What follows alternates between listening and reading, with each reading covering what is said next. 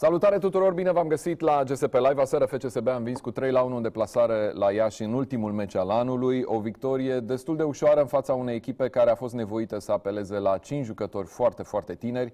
Foarte nervos aseară antrenorul celor de la Poliaș, Leo Grozavu, care a spus că nu se poate așa ceva, jucătorii erau cumva cu mintea la vacanță, unii dintre ei n-au vrut să joace meciul de aseară. Mă rog, a criticat și faptul că s-a putut face un transfer, cel al lui Luis Felipe, înainte de pauza de iarnă, iar jucătorul a plecat acasă înainte de această partidă. Era oricum în vacanță de la meciul precedent în care a jucat foarte slab în prima repriză și a fost schimbat la pauză. Discutăm despre meciul de aseară câștigat, spuneam, de FCSB cu 3-1 cu două penaltiuri comise de același fundaș de la Poliaș, transformate de Coman. Coman într-o formă bună, un jucător care a scos unul dintre cele două penaltiuri, al doilea a scos de Olaru aseară, un alt jucător foarte în formă pentru FCSB în ultima perioadă. FCSB termină anul la o distanță apreciabilă de urmăritoare. Vom vedea la ce distanță, pentru că echipele care vin din spate mai au meciuri de jucat până la finalul acestei etape. Sunt 11 puncte în momentul ăsta avans față de CFR Cluj și uh, Universitatea Craiova. Însă, din spate vin foarte multe echipe. Sunt unele echipe care acum ceva vreme, o lună, o lună și ceva, păreau că se vor bate mai degrabă pentru evitarea retrogradării. Acum sunt într-o serie bună și vin foarte, foarte aproape de play-off. Una dintre aceste echipe, una este Sepsi, care a intrat deja pe locuri de play-off.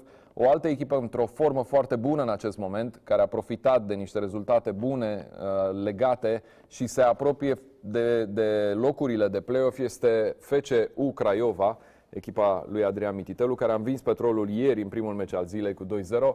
Uh, și cu un gol caragios marcat în final, o degajare a portarului de la Petrolul în spatele lui Blănuț a fost 2-0. Au fost multe ocazii în acest meci, multe ocazii a avut și Petrolul în această partidă. Uh, o să discutăm despre meciul acesta, o să discutăm un pic despre ce s-a întâmplat până acum în această etapă și de ce s-a întâmplat în acest an de campionat. O să mai discutăm și despre perioada de transferări. Invitatul din această dimineață este președintele lui FCU Craiova, uh, domnul Marcel Pușcaș, pe care îl salut. Bună dimineața, domnule Pușcaș! Dimineața. Mulțumit de meciul de ieri. A fost un meci așa, uh, Bogdan Cosmescu pe comentariu de la prima spunea că e unul din cele mai bune meciuri, dacă nu cel mai bun meci pe care l-a văzut, cel mai spectaculos de fapt meci pe care l-a văzut uh, anul ăsta în Liga 1. Uh, da, sunt mulțumit, sunt bucuros pentru meciul de ieri, dar sunt mai bucuros pentru faptul că am avut această serie foarte bună și Uh, pentru faptul că jucătorii au reușit să dovedească ceea ce de la Poliaș n-au reușit, cum spunea și Leo uh, Grozavu. Mi-era teamă de acest ultim meci. Am mai avut o experiență în urmă cu două sezoane, într-un meci cu șef la Craiova, când am primit cinci. Okay. Tot așa nu etapă. Uh, și e foarte greu de, de uh, mă, cel puțin în România, uh, de gestionat o un asem- o asemenea etapă pe 19, 20, 21 decembrie, când în mod firesc, cum sunt mai toți oamenii când se apropie concediu sau vacanța, mai mult stau cu gândul la, la ceea ce urmează să facă în timpul uh, liber. Ăsta era pericolul acestui meci, nu neapărat uh, diferența uh, din clasament. Okay. Iată că să treacă peste asta, îi felicit pe băieți, felicit și staful tehnic și avem o iarnă mai liniștită decât uh, preconizam, cum spuneai, acum uh, o lună. Era rău, situația era destul de rea sau îngrijorătoare acum o lună, lucrurile s-au așezat cumva. Îmi spuneați acum, cred că acum o lună îmi spuneați, într-o emisiune, prin telefon cred că vorbeam, și mi-ați spus, domnule, antrenorul ăsta italian nou face niște lucruri, cred că mi-ați zis trei sau patru lucruri, pe care eu nu le-am văzut la antrenorii români. Mai da, țineți minte refer... când mi-ați spus? Mă refer la, la uh, un anumit tip de antrenament uh, și la care. Uh, ceea ce, într-adevăr, n-am văzut la alți antrenori cu care am uh, uh, lucrat în ultima uh, perioadă la, la Craiova. Okay. Uh, este un antrenor tânăr, este un antrenor care uh, are principii și nu abdică uh, de la ele, ceea ce e foarte bine. Uh, este un tip inteligent, ca dovadă faptul că într-o lună și jumătate deja încearcă să vorbească limba uh, română, deci asta înseamnă și o oarecare inteligență și un oarecare bun simț, okay. pentru că dintr-o altă țară este normal să dai bună ziua, să știi câteva cuvinte cât mai rapid în limba uh, țării în care uh, lucrezi, ceea ce e pozitiv. Și asta dovedește, repet, că a mai citit, a mai fost pe la școli, uh, și e pe drum bun. El are nevoie de, de această echipă, așa cum, uh, pentru că uh, e în plină ascensiune, a fost antrenor într-adevăr pe la Strela, uh, prin Cipru și uh, secund câțiva ani. Dar uh, adevărata consacrare sau lansare, din punctul meu de vedere, și cred că știe și el treaba asta, este aici, este prima echipă uh, importantă pe care o, o antrenează și sper să rămână cât mai mult și rezultatele să fie pe măsură. Acum să vedem ce o să readucă primăvara. Două vorbe ne puteți spune ce face la antrenament de diferit de ce ați văzut dumneavoastră la antrenorii precedenți? În primul rând că încearcă să iasă din uh, șabloanele, tiparele învățate la uh, celebrele module ale, ale uh, școlii românești de antrenori. Așa. Pentru că dacă te uiți la ai, ai merge așa să vezi antrenamentele tuturor echipelor din România, sunt cam aceleași. Adică nu antrenamentul de marți al lui Botoșani cu de cel al celor de la UTA.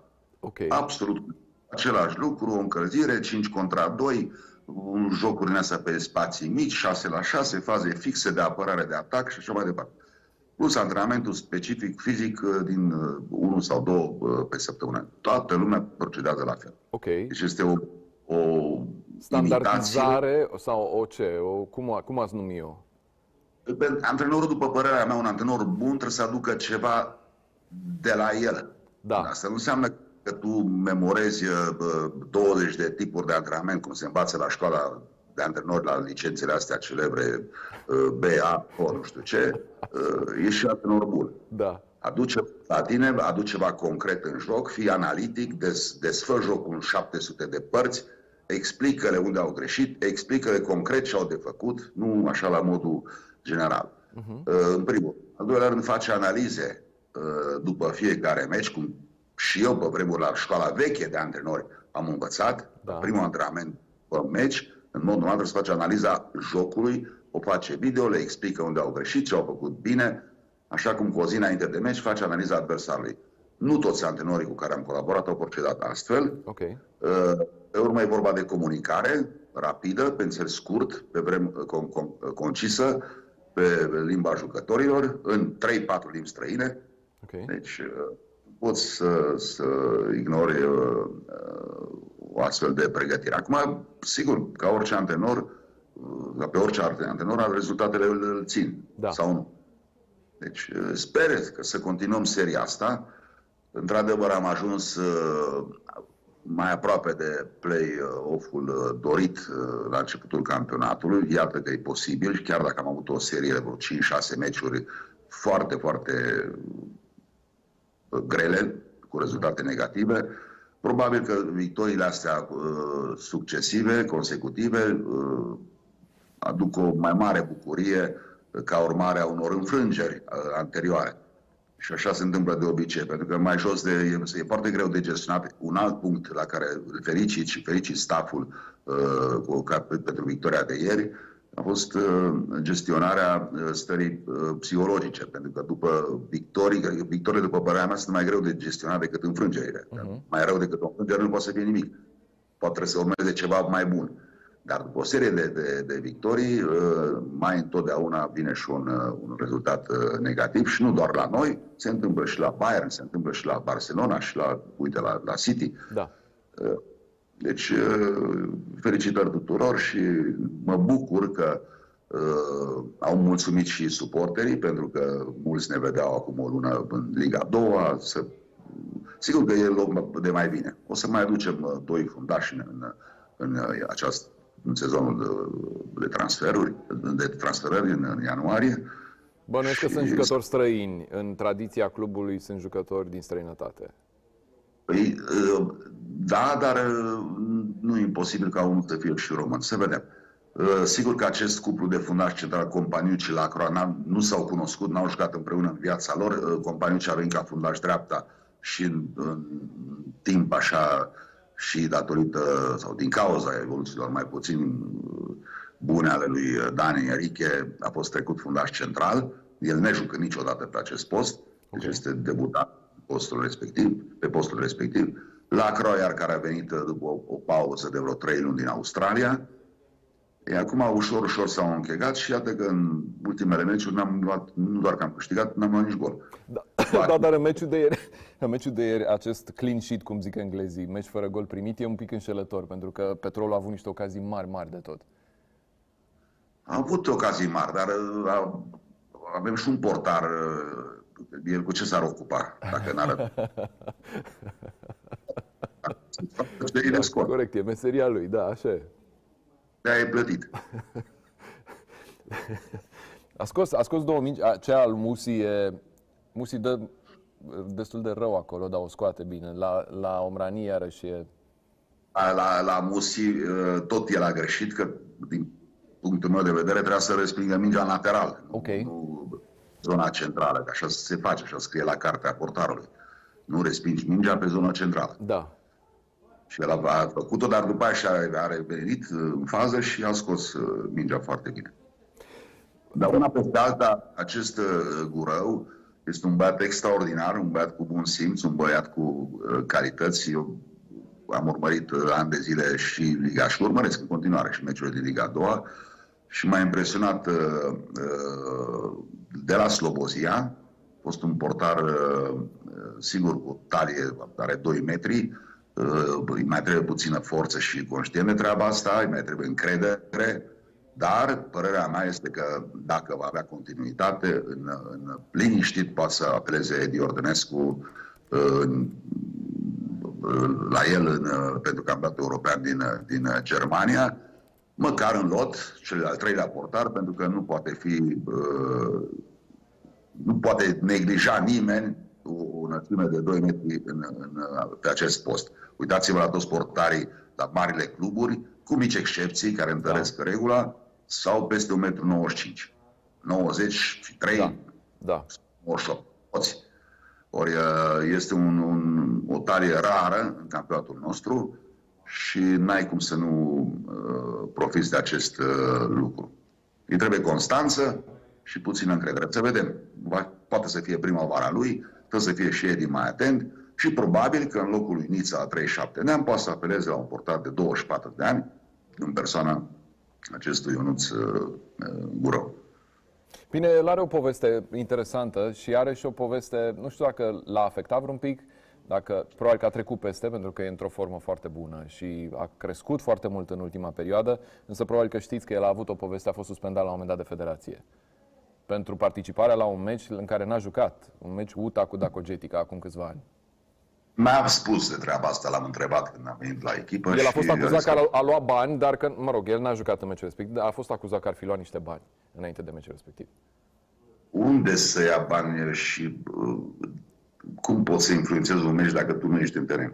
Cu, cu ce? Da, ce, ce probabil trebuie? că îi luase preventiv, dacă apără să... Mă rog, sau asta, asta a fost acuzat, federația asta, de asta l-a acuzat și pentru asta l-a suspendat.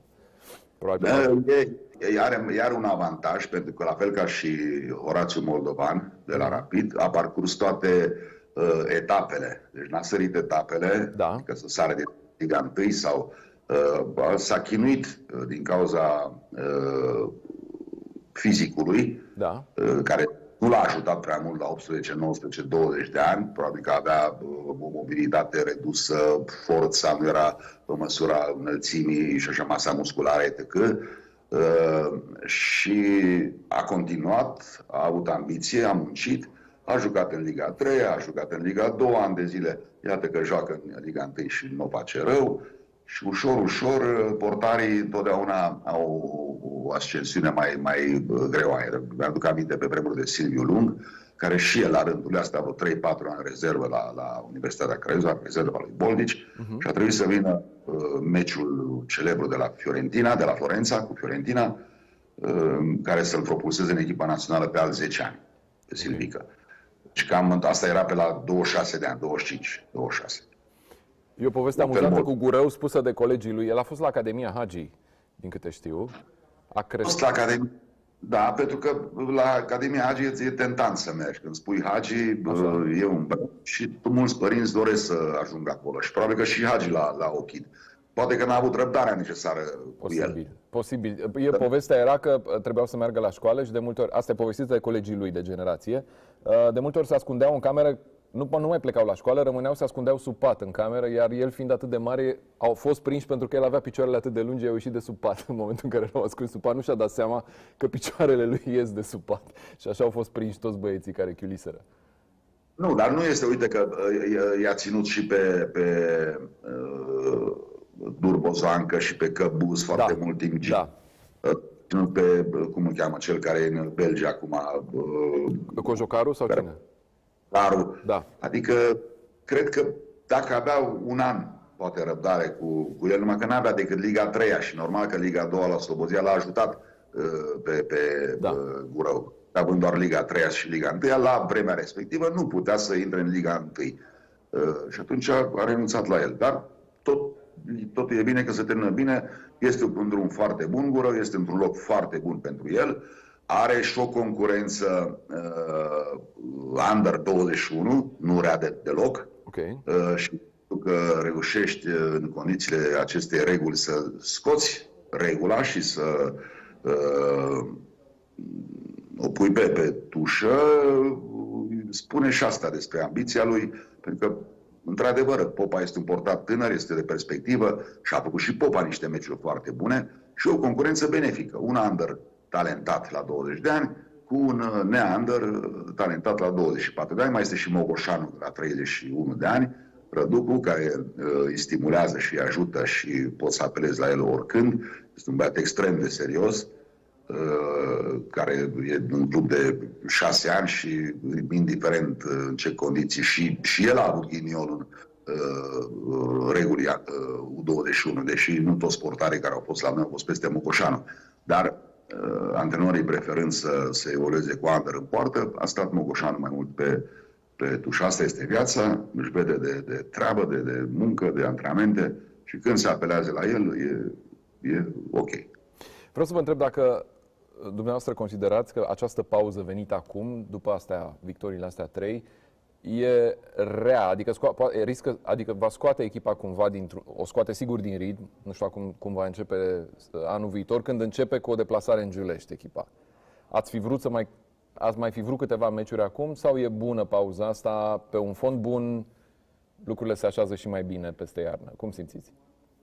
Ce m-a bucurat uh, a fost faptul că acum uh, o, nici o lună, uh, jucătorii de la ei putere au făcut o, o autodiscuție fără antrenor, Așa. fără staff, fără, și uh, o discuție realistă, matură, uh, care a avut în prim plan pe cei mai în vârstă din echipă, Achim Chițu Lacroix, okay. uh, care au adunat echipa uh, și jucătorii, pentru că erau, uh, era neomogenă echipa, era au venit foarte mulți în, în, în vară și în iarna trecută, în vară a venit Padula, a venit Lacroix, a venit companii, și trei din patru pe, de pe linia de fund uh, au venit în vară, nu se cunoșteau, sunt normal să uh, gafezi.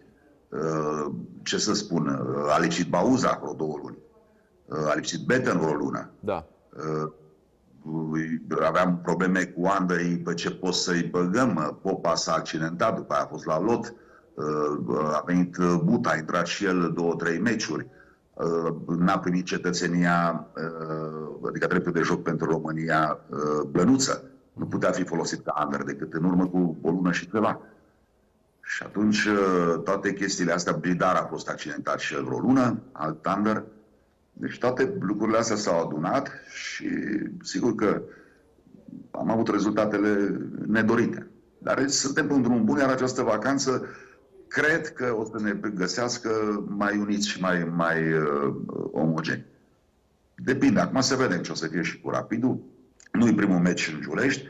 Nu este primul meci în care putem... Am mai câștigat în Giulești, așa cum am și pierdut ultima da. oară în, în Craiova, la Craiova acasă. Deci uh, nu e dinainte câștigat de rapidiști meciul din, din 20 uh, de, de ianuarie, sau 19. Povestiți-vă un pic uh, cum ați simțit golul ăsta lui Blănuță, cum l-ați văzut? Sunt convins că ați mai văzut în cariera dumneavoastră și în viața dumneavoastră momente amuzante, meciuri, dar cum vi s-a părut ăsta? În 84, deci în urmă cu 39, am jucat la Steaua pe Ghencea da. contra celor ce Baia Mare. Ok. I-am bătut cu 7-0. 7-0. La?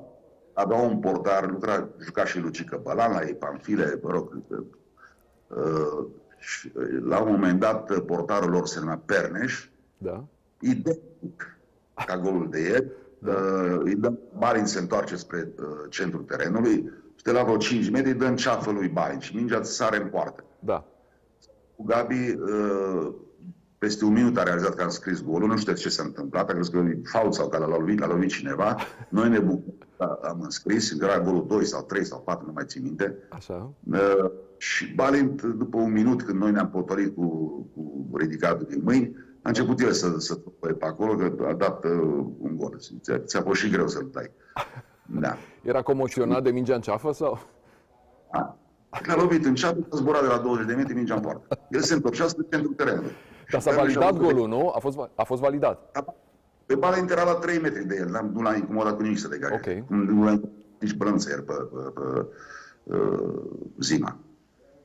Iar uh, a mai fost meciul uh, celebru tot al Stelei cu Galatasaray, mi se pare. Când da, la Istanbul, dar el a fost anulat golul lui- lui Pițurcă.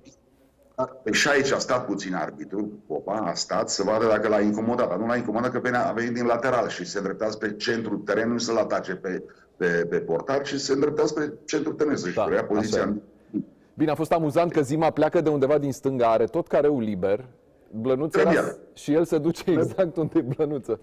Da. Când e De se obicei, întâmplă. po- evită jucătorii din, din față, fie că Da. sunt jucători proprii sau adversari. Da. Ei evită, fac pași lateral ca să poată să, să degajeze. Ei, Zima n-a făcut-o. Eu ce să-i fac? Să fie sănătos. Vreau să vă întreb de Baasa. Am văzut declarația finanțatorului uh, care spune că i- i-a făcut o ofertă de nerefuzat pe care jucătorul la care jucătorul nici măcar n-a răspuns, înțeleg. Adică nu doar că, a refu- că n-a spus dau refuz, n-a răspuns deloc. Nu că n-a răspuns, se gândește. Se gândește. Ei, ei, Lui Bahasa expiră contractul cum expiră la uh, milioane de fotbaliști de pe planetă. Da. Toate contractele au început și un sfârșit. Uh, în perioadele uh, respective, cu șase luni înainte, de obicei cluburile fac niște oferte către jucătorii cărora li se termină contracte sau nu, Da. unii ceadă de aceste oferte, alții nu. Uh, Să nu uităm de Mbappé, de jucători mult mai mari decât uh, cei din România. I s-a făcut o ofertă în condiții financiare mai bune, să vedem are timp să o accepte sau nu. Dacă o acceptă, rămâne, dacă nu, probabil că o să uh, uh, plece. Cu părere de rău, este un jucător bun, am vrea să rămână, dar sper că se gândește mai bine, pentru că să nu uităm că venirile astea ale străinilor în România uh, nu sunt făcute de binele pe care l-au în țările de proveniență. Ok. Uh, Vin România să-și dorească mai binele și financiar, și fotbalistic dacă doresc sau dacă dorești. Și uh, atunci, uh, de ce ai părăsit țara ta natală ca să vii în România să joci fotbal dacă- decât dacă ți-e mai bine? Fie că joci mai mult, fie că ai rezultate mai bune, fie că joci într-o ligă superioară și te văd alții, fie că uh, poți câștiga mai mulți bani. Deci de-aia se mișcă uh, uh, fotbaliștii și sportivi, nu doar cazul uh, fotbaliștilor, și la basket, și la handbal, și la peste tot, e la fel.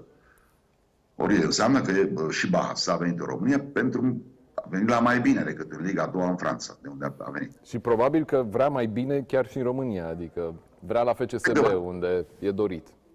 Era mai bine și în alte țări, nu știu ce e, e problema lui. Patronul i-a făcut o ofertă, mă rămâne să gândească dacă o acceptă sau nu are timp toată vacanța și după aceea, până în ianuarie, are timp suficient să analizeze, să pună în balanță plusurile, minusurile, avantajele, dezavantajele. Vreau să, vă întreb, o- vreau să vă întreb un lucru. Vi se pare normală m- metoda asta de a agita jucătorii altor echipe din, din liga în care evoluezi? O practică pe care eu n-am văzut-o în străinătate. Încerc să-mi dau seama ce finanțatori din străinătate agită jucătorii echipelor mai mici din liga în care clubul lor activează. Mm, nu știu, nici Berlusconi, nu cred că dădea declarații. Îl vreau pe nu știu care de la Verona, uh, pe ăsta o să-l ia, îl luăm noi. Uh, Vi se pare în regulă chestia asta? Real Madrid de un an de zile dă declarații că vrea pe Mbappé. Ok, dar an. e din altă ligă. E din altă ligă Mbappé, e din alt campionat. Ok, îl Nu agită. știu. Da. E mai nou, dar poate că tot Real Madrid procedează la fel și cu unii jucători pe care îi ochește sau îi dorește din campionatul spaniol. Ah, ok, deci nu vi se știu- pare o chestie normală. Vi se pare o chestiune normală. Nu văd. Dar, domnule, bine, și eu din vară pe știu eu cine, pe Florinel Coma. Așa. Care e problema? Coman sau pe cine să se mai agite? Nu cred Dar, că- domnule, îl doriți? Nu cred Sau că pe l-agitați. Olară. Nu cred că îi agitați pe băieții ăștia, nu. Nu-i bulversați dacă îi doriți. De ce s-ar bulversa jucătorii celor de la Poliaș? Că l-a luat Becali pe Felipe. Sau cei de la Hermanș și de l-a luat pe baba lui Hasan, vorba lui Gigi Becali. Păi da, s-au bulversat, nu vedeți că s-au bulversat, că n-au mai vrut să joace aseară? Cei de la Poliaș. Așa a spus Grozavu, că unii n-au mai vrut să mai joace. Păi, n-au mai- să-mi stai că nu, nu, nu înțeleg. N-au mai vrut să joace cei 11 care au intrat în teren pentru că a plecat Felipe la, la nu, FCSB. înțeleg că au fost niște băieți care n-au mai, n-au mai, n-au mai vrut să joace în meciul de... Nu doar Felipe, care n-a mai vrut să joace și care a plecat în vacanță. Asta am înțeles din declarația lui Leo Grozavu. Dacă a vrut să spună altceva, e vina lui că a dat declarația asta, din care se poate deduce și altceva. Spersa un colectiv de 11 că pleacă unul din cei 25. Ok, Sau un colectiv asta de clar, nu. Dar pe... Da. Ultimele, se, are voie să plece. Că e regulamentar ce se întâmplă. De ce nu e regula- nu, regulamentar? Cu chestia asta cu moralitatea și cu... În urmă, fiecare își vede scopul și își dorește mai binele echipei lui. Știu, dar De un ce nu jucător poate semna în ultimele șase luni de contract, nu? Dacă tu l agiți cu 3-4 luni înainte prin declarații publice, îmi pare un pic unfair, nu știu. O secundă, eu am înțeles că și cluburile s-au înțeles. La Podia Și- spuneți. Și ea și ia niște bani. Da, asta și categoric. Da, aia da. Deci, deci n-a plecat Felipe sau nu pleacă baba al Hasan de la Sibiu, că nu dorește clubul din Sibiu. Da, corect. Nu la făcut. Părțile trebuie să fie un contract club-club și un contract club-jucător. Mhm. Deci dacă cluburile sunt de acord, jucătorii sunt de acord, cu ce pulversezi tu alți 11 care intră în teren? Cu ce? Poate prin faptul că jucătorul respectiv clar nu mai vrea să mai joace, uh, senzația e de... to- Toate discuțiile astea au fost create, domnule, ia jucătorii ăștia de la ultimele două echipe cu care joacă în anul ăsta și echipele au jucat surprinzător, amândouă au jucat slab, și Hermannstadt și Poliaș, adică FCSB cred că a avut cele mai ușoare meciuri din toamna asta în meciurile astea două. Nu știu dacă aveți altă ope- părere. Mie mi s-a părut că au avut cele mai slabe meciuri, uh, ad- cele mai slabe adversare aseară și cu Hermannstadt. Mai nici Poliaș, nici uh, Hermannstadt, cu tot respectul și pentru munca lor și pentru uh, felul în care uh, evoluează în acest sezon, uh, nu cred că pot uh, să-și propună categoric să câștige în fața PCSB-ului. De ce Nici să o nu echipă din spui? spune treaba asta înainte de joc. Ok. CSB-ul la ora asta are, după părerea mea și nu doar a mea, cel mai bun lot din România. Și numeric, și apropiat uh, valoric, uh, are under ca lumea, are, are jucători cu experiență, are tineri buni, are jucători componența echipelor naționale și de seniori și de tineret și de juniori. Deci uh, nu poți să, să spui că dacă joacă la Iași nu poți să câștige. A, categoric asta, bineînțeles. Dar experiența toamnei ăstea a arătat că au fost echipe care poate nu și-au propus să bată FCSB, care au reușit să o bată. Ce se întâmplă la echipele astea care nu-și propun uh, uh, lucruri, adică nici neapărat play-off-ul, dacă întâmplător pot să ajungă pe acolo bine, dacă nu, iar e bine, uh, dacă uh, să nu, să nu retrogradăm, nu e cazul nici uh, al celor de la Poliaș, nici celor de la Sibiu să retrogradeze, din punctul meu de vedere, n-au echipe de, de picat, cum, așa cum, după părerea mea, n-au nici echipe de play-off. Și atunci, la echipele de genul ăsta de jumatea clasamentului, nu nu de azi de ieri, se, instaura, se, se instaurează oarecare blazare. Ok. Și o chestie ală. Și în Europa se întâmplă la fel. A intrat, nu, nu a intrat, cei sau Leverkusen, care acum pe primul loc, dar ani de zile a stat pe la jumatea clasamentului. Da, dar acum aici e o motivație, play-off-ul, adică campionatul se sparge. Nu mai e ca pe vremuri când echipele de la jumatea clasamentului traficau puncte. E greu pentru Poliaș să ajungă în play-off. Ok, Poliaș categoric, dar Hermannstadt de acolo. E acolo, dar și pentru ei este greu. Probabil. Așa. E greu. S-ar putea, mai este o, o problemă, pentru că nu, nu știu care e situația la cele două echipe, dar știu că sunt foarte multe uh, cluburi, uh, cum au fost în toate sezoanele din ultimii 5-6 ani, uh, au toate pro- probleme financiare, sunt restanțe financiare de 2, 3, 4 luni, ori în condițiile astea, la ultima etapă, când biletele de avion sunt în buzunar, uh, concediile sunt planificate, bagajele copiilor sunt făcute, pe stai puțin, dacă nu mi-ai dat banii de 3 luni, de 4 luni, Ok. lasă-mă și pe mine. Uite. să mă facă joc fotbal. Tu te faci că mă plătești, mă facă joc. Și atunci uh, toată lumea e mulțumită și antrenorii reproșează, dar cui reproșează? Vreau să vă întreb, da. Dar, din păcate, ăsta este adevărul în, în, în România. Tu ai jucat dacă trei luni, uh, sau ai evoluat dacă trei sau patru luni ți-ar da salariu? Ne, nu, e, automat e o stare super rea, super, da, categoric. Da, nu, nu spun că e cazul, există da, și înțeleg, variante înțeleg. doar gândul la vacanță pur și simplu. Sau nu doar lipsa unui obiectiv pur și simplu. Da. Dar poate să fie și acest motiv. Vreau să vă întreb dacă dumneavoastră vi se pare totuși o pură coincidență faptul că FCSB și-a ales jucători de la ultimele două echipe cu care urma să joace în anul ăsta. E doar o pură coincidență? E o, e o întrebare fără un substrat, fără... Vă întreb doar dacă simțiți că e o pură coincidență. Să nu uităm că cel puțin băiatul ăsta de la Sibiu, uh, Baba Hasan, a avut const, uh, evoluții constante, mai puțin turul campionatului trecut, pentru că și eu am pus ochii pe el acum două sezoane, Liga 2 Așa. a evoluat excelent. El are, el e, mi se pare, la al treilea sezon în, în, în, în România. Uh-huh. Și să nu uităm că are doar 23 de ani. Ok. De Felipe nu știu prea multe, a jucat și contra noastră, n-a făcut o rău, are calități bune. Din păcate pentru el uh, evoluează pe un post pe care, la care, la care, pe care la Steaua e greu să-l ocup la ora asta. Da. Dacă pleacă Florinel, are o șansă. Dacă nu, e o problemă. Pentru că și Tavi Popescu la anul uh, din vară uh, termină perioada regulii Under 21. Da. Se, ca senior să se bată cu Coman ca să intre în echipă sau cu Molar sau cu știu eu cine. Uh-huh. Îi va fi greu, evoluând așa cum a făcut-o în acest tur.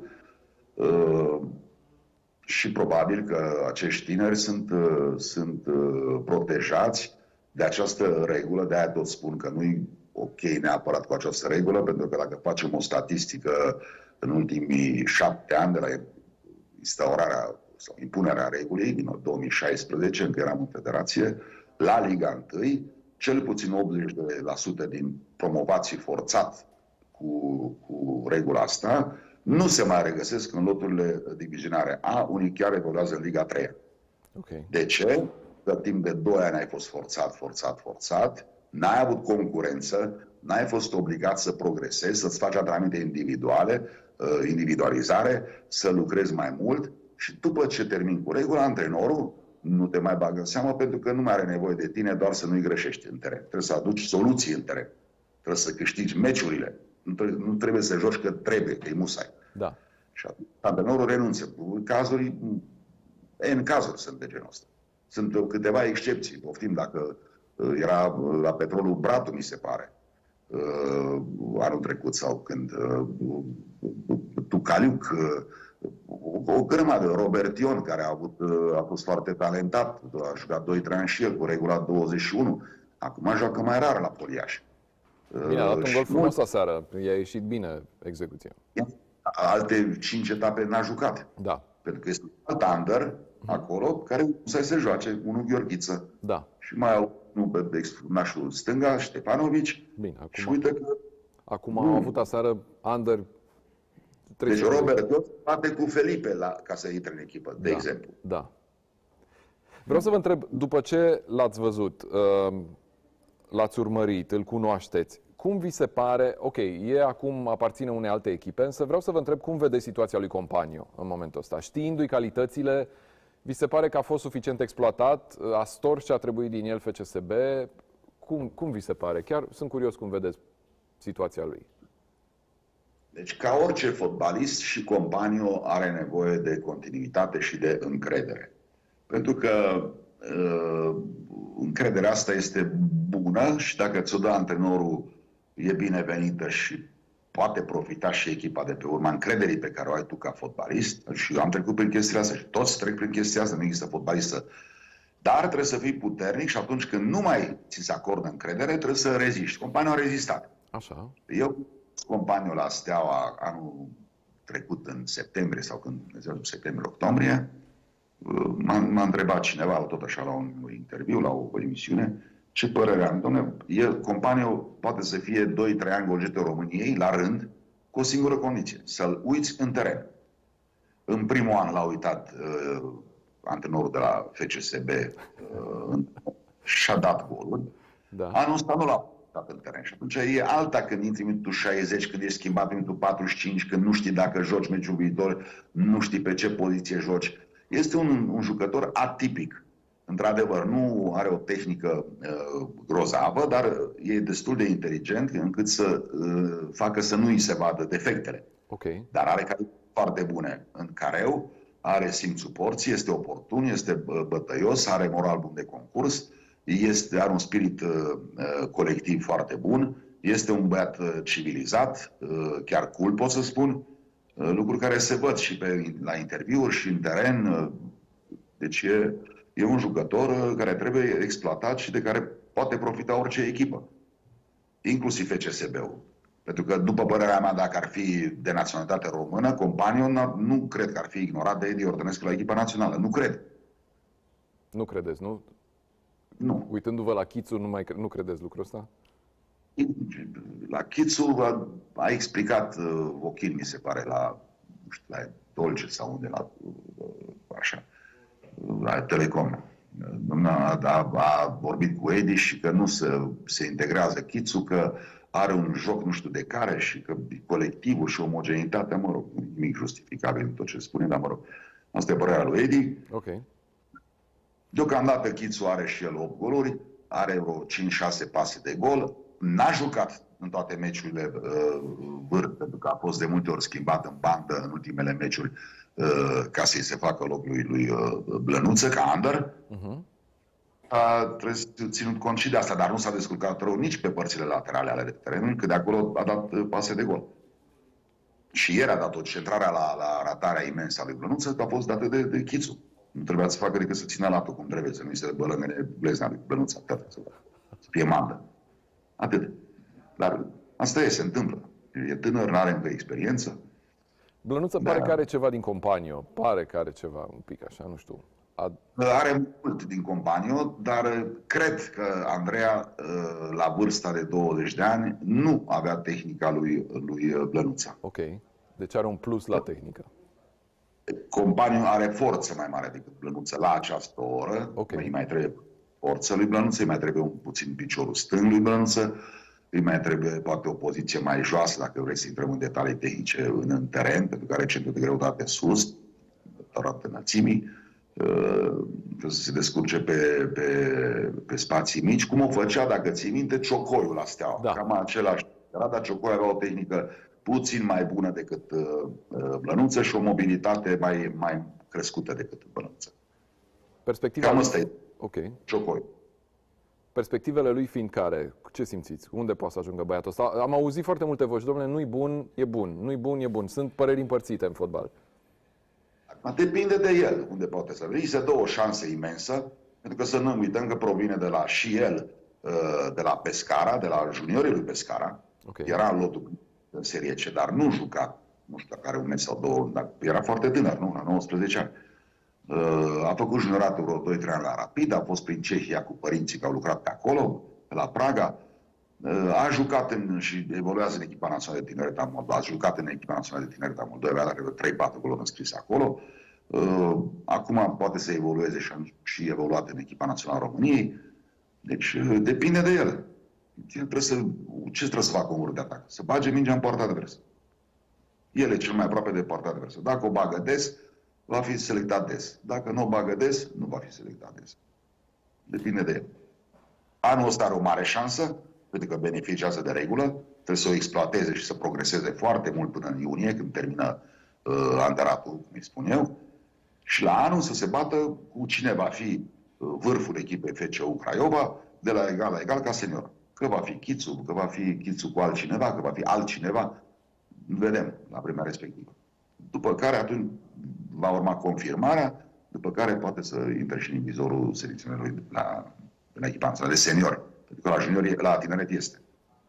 Vreau să vă întreb, ați adus acum vorba de echipa națională, vreau să vă întreb o chestie după calificarea națională, ați fost destul de aspru pe Facebook.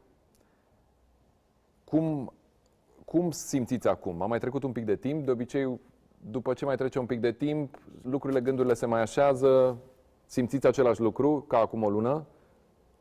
Ce înseamnă aspru? Nu știu, așa mi s-a părut că ați fost aspru, cel puțin din ce am citit uh, în, uh, în, uh, în titlurile și în media de după postarea dumneavoastră. Am fost aspru, pe mine mă bucură calificarea și aș vrea să devină o normalitate, pentru că beneficiază toată lumea. Crește cota fotbalului românesc, cresc prețurile, că e una să provii dintr-un campionat în care nu te califici, okay. mai nou 24 de echipe, adică jumate din Europa se califică, deci numai cine nu vrea se califică Așa. de Burg și uh, Malta și țări de genul ăsta. Și atunci, sigur că îți crește cota și poți să vinzi mai bine jucătorii, ești altfel privit, mai uh, ai niște coeficiențe acolo, dar uh, nu poți uita meciurile uh, anterioare calificării din, din, uh, din campanie, uh, nu poți uita uh, și șansa, adică nu trebuie să, să te îmbeți cu apă rece că ești mai bun decât uh, uh, ești. Adică uh, jucătorii români, să nu uităm, cu excepția 2 sau 3, nu prea evoluează în ligile uh, superioare din, din campionatele puternice. Rațior s-a transferat recent, e Drăgușin și mai e Răzvan Marin. Punct. 3. Da. Asta e o problemă și uh, e, e cu atât mai de felicitat echipa națională, cu cât s-a calificat în condițiile unui campionat intern extrem de scăzut raportat la nivelul uh, uh, european, ca dovadă că nu suntem în nicio competiție europeană la nivel de club. Și suntem, facem parte dintr-un cerc restrâns, deci știu eu, șapte-opt uh, țări, care nu are participante în Conference League măcar. Practic era, mă uit mai atent acum la, la postarea dumneavoastră, era cumva mai degrabă o nostalgie și o apărare a trecutului cumva, apărarea tinereții dumneavoastră și a colegilor de generație și a fotbalului pe care l-ați trăit pe teren. Nu, a fost o comparație într-un ziar, uh, uh, da, și m-am, am făcut referire la ea, pentru că uh, și unii dintre voi, dintre colegii tăi, tind să, sigur, țin cu generația da. lor și la tinerii ca dovadă că am lucrat cu ei și îmi place să-i încurajez și să le spun și să-i... Uh, îmi place. Dar uh, nu trebuie să, să schimbi cursul istoriei prin uh, lucruri de genul George Pușcaș a, e mai, mai bun decât Balaci, Dobrin și nu mai știu cine era în clasa, Gâdilță Dumitru, în clasamentul golgetelor all time, da. Într-un ziar a apărut. Da. Am făcut refer. Da. Asta e puțin. Așa. Acum nu trebuie să în istoria fotbalului românesc să se scrie că Pușca și-a dat mai multe goluri decât Dobrin. Da. Unu, că Dobrin a vârf de vârf. Doi, uh, uh, uh, Dumitru juca mijlocaș, nu vârf. Ilie Bala juca mijlocaș, extremă stângă și așa mai departe, nu vârf. Deci odată se confundă posturile. Ok se confundă perioadele, când acești jucători uh, participau la un campionat mondial cu 16 echipe, la european cu 8 echipe și tu participi cu 24 de echipe. Acum, și atunci trebuie să le spui celor mai tineri, de 22 de ani, care stau pe spate la conotație și tot uh, tastează pe acolo, Așa. să le spui, da. acești fotbali, Mitru, Balaci și Dobrin, nu se puteau compara vreodată cu George Pușcaș. Pentru că dacă tu n-ai trăit, eu trăiesc momentul George Pușcaș versus adversare de azi, ca și tine, da. dar tu n-ai trăit momentul Dobrin, Balaci, Liță Dumitru, ca nu, și mine. Nu, nu l-am trecut. Aș când spun ceea ce spun față de unul de 20 de ani. Da. Pentru că ca să fii înțelept, să ajungi la vârsta mea să fii înțelept, trebuie să fii prost când ești tânăr. Toți am trecut prin asta, cred. Atunci trebuie să, să explici da. acelui da. tânăr da. că nu faci o comparație nici ca posturi, nici ca număr de meciuri la echipa națională, că erau cu jumătate mai reduse, nu erau grupe de șase la calificări și de patru. Da. Nu făceai amicale, două, trei amicale în pauzele, uh, dacă nu te calificai sau știu eu, uh, pe an. Nu și nu cred că al de Dobrin, Balaci și Liță Dumitru uh, jucau, erau rezerve la Genova vreodată, neam de neamul lor și pe vremea aia se juca cu doi străini în teren, nu cu toată echipa. Deci n-avea Liță Dumitru să fie rezervă la Genova niciodată. Da. Putea fi titular la Juventus sau la Inter. Ca să știe și tânărul respectiv. care e diferența între cei trei uh, uh, nominalizați de el și uh, George Pușcaș. Cu tot respectul pentru George. Trecând un pic într-o zonă mai relaxată, vreau să vă întreb cum vedeți norocul ăsta pe care pare că l-are naționala asta, uh, la tragerile la sorți, la, în meciuri, în contextul din timpul desfășurării preliminarilor ăstora, povestea cu Israelul, pare, pare cumva că e, are o aură așa echipa asta națională sau e... Orice om în viață da? uh, și, și noroc. Sunt foarte mulți uh, buni. Da. Sunt foarte mulți uh, jucători buni care n-au șansa la un moment sau altul să evolueze la echipe mai bune. Sunt foarte mulți jucători buni care transferându-se la alte echipe nu evoluează, știu, Hazard, de tâcări și așa mai departe. Da. Au fost uh, sunt antrenori care nu confirmă la o echipă, gen Ranieri, în ultima perioadă, dar a scos pe Leicester campioana Angliei cu un sfert din bugetul lui City. Da. Uh, deci, omul potrivit, la locul potrivit, în momentul potrivit. Ei, Edi Iordănescu, echipa națională, Federația Română de Fotbal, familia Iordănescu, nu știu, Așa. beneficiă și de această șansă și este binevenită și bravo lor. Uh, așa cum uh, toate astea au și un, uh, pot să aibă și un revers. Să nu faci treabă în această grupă ușoară. Ok. Și atunci ții de capul criticilor și de capul antrenorului, selecționerului și a jucătorilor. Ia să nu te califici din grupa asta. Să vezi ce, ce o să scrieți tot voi în iunie. o să fie o vară interesantă dacă nu se întâmplă nimic în grupa asta. În jos bun și în iunie când nu te califici, o să vezi tu, tu, tu o să fii primul. Nu, nu o să fii Care chiar al doilea, poate, al treilea.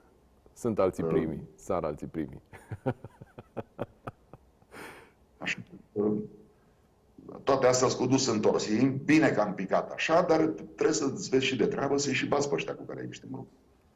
În ultimele zile au apărut tot felul de... Am văzut câteva articole legate de jocurile de culise, lobby-ul care s-ar face în fotbalul european pentru un potențial înlocuitor al lui Ceferin, numele lui Burleanu apărând, apărând în niște discuții, chiar și în niște articole din străinătate. Credeți realist că e posibil lucrul ăsta, ca președintele Federației Române de Fotbal să ajungă președintele UEFA la un moment dat? De ce nu? Pentru că și Ceferin uh, uh, provine dintr-un... Nu, e un sloven. Da. Este un... Uh, a terminat dreptul.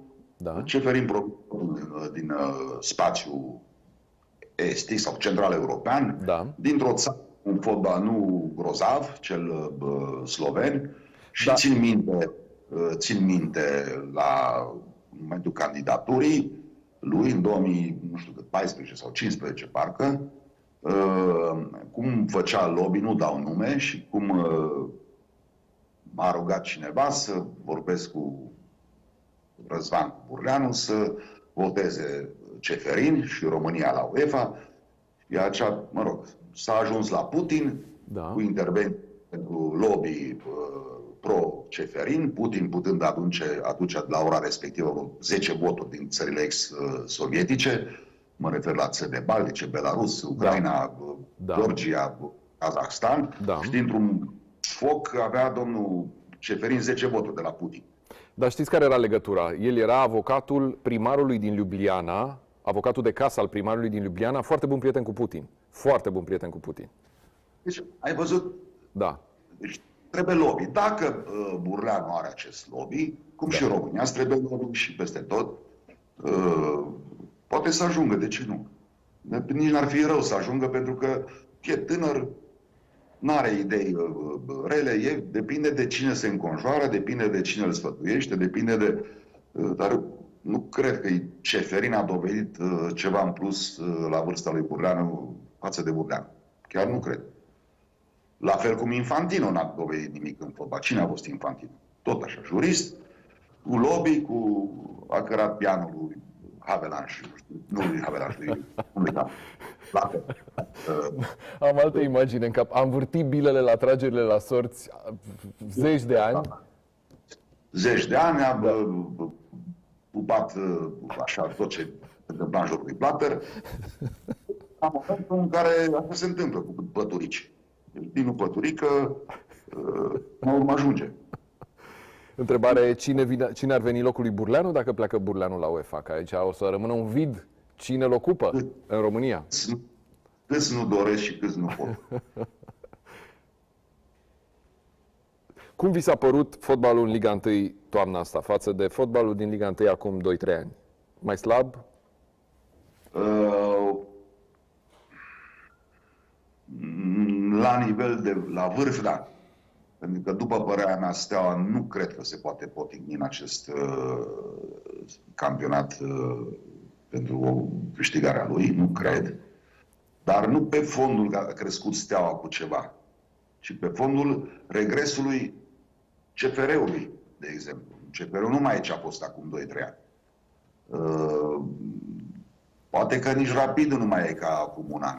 Nu știu. Uh, CSU Craiova nu mai e ca acum un an. Nu mai are concurența la vârf, din punctul meu de vedere, ca în anii precedenți. Sigur, uh, poate să învingă oricine FCSB-ul și noi am învins în cupă. Da. Și rapidul i-a Galații. Dar pe, pe, pe, pe ansamblu, pe ansamblu, până la finalul sezonului, uh, cred că lucrurile se vor uh, tranșa. Ea câtea 11 puncte avans, dacă la jumătățire ar fi, nu știu, 6, mi se pare. Dar uh, diferența se poate mări până la terminarea campionatului. E ceva remarc... Ok, da, scuze, scuze. Spuneți dumneavoastră. Asta, asta e singurul lucru. La, la nivel de, de retrogradări, acolo unde s-au poziționat deja Dinamo și Botoșaniu, iar n-a mai fost, n-au mai fost situații de genul ăsta. Au fost în urmă cu două sezoane, într-adevăr, când, dar din primăvară au a intervenit uh, falimentul celor de la Media și de la uh, Clinceni, parcă, uh-huh. și uh, n-au mai contat cele două echipe deja retrogradate prin martie. Uh, S-ar putea Dinamo să încerce să, să facă cea. Pentru Botoșani, cu părere de rău, cred că va fi foarte, foarte greu să se uh, mențină. Dar nu e imposibil, pentru că urmează play-off-ul, da. play, play-out-ul. Da. Uh, lucrurile se pot, după înjumătățirea punctelor, se pot, uh, cum să spun, reașeza, pentru că țin minte în urmă cu vreo trei sezoane, voluntariu sau Trinceniu nu făcuseră, erau pe ultimul loc și în, în play-out au ajuns pe locul 7, 8, 9 au avut un, un, un play-out senzațional, cu 7-8 victorii la rând. Se poate întâmpla. E prematur, dar, într-adevăr, asemenea poziționări n-au mai fost în ultimii câțiva ani. Dinamo și Bocoșani. E ceva remarcabil, ați văzut ceva remarcabil în Liga 1 în toamna asta, ceva care, nu știu, că tot, tot timpul criticăm, tot timpul vedem lucrurile rele, e ceva bun ce ați văzut în toamna asta? Nu știu. Nu știu ce ar putea bun față de anul uh, trecut. Arbitrajele sunt mai bune cu VAR sau mai slabe cu VAR? Nu sunt mai bune. Am sperat în acest VAR, am și postat, am și scris, am și comentat cum 2-3 ani până la dăcesc dumneavoastră odată VAR. Toată lumea spera că da. și credea că VAR va, va face dreptate pe, pe terenuri. Uh, uite că nu se întâmplă lucrul ăsta. Greșelile sunt aceleași, pentru că și în camera VAR analiza o face tot un om. Și dacă ești uh, slab... De exemplu, am, uh, îl laud pe Cătălin Popa pentru meciul de ieri. Da. A fost mult mai altfel decât în alte meciuri pe care le-a arbitrat. Dar nu pot să ignor că în fața ta, întâmplător, e drept, a fost călcat CDB în interiorul careului de garutil, întâmplător, dar întâmplător, de-aia sunt și penaltiuri, pentru da. că se întâmplă. Da pot să, să spun că alunecă Chițu și nu gesticulează, nu cere vreun penalti și dai galbe pentru simulare, poți să aluneci pe terenul de fotbal. La primul cartonaș lui Bauza i l-a dat, nu știu dacă a fost, adică, ă, cum să spun, bine că a dat golul, că mă, mă așteptam ă, să, să golul lui Blănuță sau da. Zima, poftim. Să-l anuleze. Ă, așteptam să-l anuleze. Uh-huh. Pentru incomodarea lui Zima, ceea ce nu era real. Uh, deci nu, asta, asta este nivelul. Și am vorbit și vorbeam și cu patronul și că mai înjurăm, îi mai ne luăm de, de ei, de arbitri. Nu numai noi, FCU Craiova. Toată lumea, uite-te la Grozavu, la Gigi, la Stoica, la Gică Hagi, la Balaș, la toată țara, Redi. Toți au ceva cu arbitrajul. Măi, dacă spun trei că ești beat, nu te culcă-te. Dacă spun toți președinții de club, toți directorii sportivi, toți antrenorii că e slab arbitrajul, nu pricep că e slab. Ce dovezi mai vrei când, când nu vezi de la 10 metri că e autul în stânga sau în dreapta? Ori nu vezi bine, ori lipsa de personalitate a principalului, uh, uh, nu știu. Și atunci și în camera VAR se întâmplă lucruri, tot te analiză. Chiar dacă stai un minut, două, trei, cinci, uneori zece, să vezi o fază de 100 de, de ori. Poate că nu sunt bune camere, poate că nu sunt bune liniile alea uh, pe care le au ei pe acolo. Nu știu, dar o analiză corectă, ai timp să o faci în 5 minute, cât de multe ori se te rupe un meci de, de da. fotbal. Nu cred că nivelul uh, slab și pornește acest nivel este uh, cauzat de, de, de, de slab uh, de lipsa uh, activității fotbalistice a arbitrilor, de practica de fost fotbalist. O spun de ani de zile, de 20 de ani. Cu cât ai jucat fotbal mai mult, nu trebuie să joci în echipa națională. Mă, dar joacă măcar în Liga 2, 3, 4, 5 ani să fii tu personal pus în situații uh, similare, da. după care tu faci arbitru, ai timp să citești, dar ești practician. Mie, de exemplu, că a fost fotbalist, dacă mâine pui, mă pui la centru, simt faza și nu, ca mine sunt mai toți fotbaliști, foștii fotbaliști. Da. Simți contactul mai dur, simți mai trebuie să văd relori. Poate că greșești, într-adevăr, toată lumea greșește. Dar nu atât de flagrant și nu atât de, de, de știu eu, de face urât pe toate stadioanele, cu de arbitri și așa mai departe. Nu e o meserie ușoară, nu spun că este. Da. Eu cred că această lipsă a practicii uh, de fost fotbalist la nivel de junior, măcar tineret, 21, habar n-am, dar să fi fost acolo, să fi fost faultat și el da. odată în viața lui, să fi făcut un fault, să fi dat uh, cu capul minge, să se fi bătut pe tușă, să vadă ricoșeul unei mingi sau să simtă Astea sunt lucruri elementare pe care degeaba le citești, uh, degeaba citești șapte regulamente și uh, faci tot felul de cursuri, că practica ne omoară. Teoria ca teorie, ok, nu te pune, dar practica te omoară. Domnule Pușcaș, am ajuns la final. Vă mulțumesc mult pentru prezența în dimineața asta. Vă doresc sărbători fericite, să aveți un an nou bun. Sărbători fericite, Costi, și, și să ne revedem sănătoși. Mulțumesc. Mulțumesc, sănător, să ne revedem sănătoși, toate bune, numai bine. Mulțumesc mult pentru, pentru urări. A fost GSP Live, o zi bună, toate bune, nu uitați www.gsp.ro pentru toate informațiile importante din sport, toate bune, numai bine.